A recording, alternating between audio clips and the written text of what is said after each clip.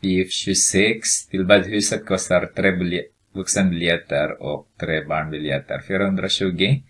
Så vi kan, kanske kan göra direkt att X är vuxna och Y är barnbiljetter då. Okay. Eh, kostar 420 så.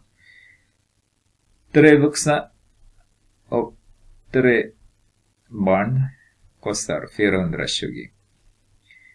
Två vuxna och eh, tre barn, nej ett barn, är lika med 225. Hur mycket kostar, hur mycket kostar en barnbiljett? Eh, jo, ska vi lösa den. Det här är en eh, eh ekosystem. Så om vi kan kanske multiplicera den här tvåan med negativ 3 så får vi 3x är därmed 3y är lika med 420. Så har vi negativ 2x är 6x förlåt. Minus 3y är lika med eh, 15 10, 11 nej 7 menar jag. 15 6, 7 och sen 6 negativ 625 och den här blir 0 nu så har vi negativ 3x är lika med.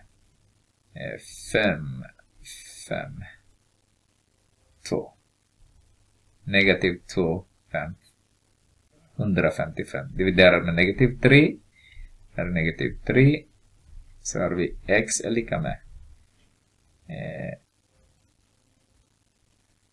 24 så är det 8 och sen 15, 85 kronor för vuxna. Så det kostar två vuxna kostar 85.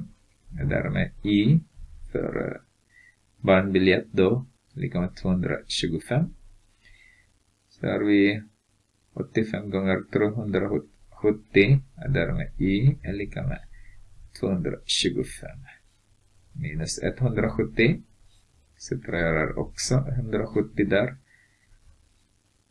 Subtraherar inte där och där här har vi E lika med 55 kronor.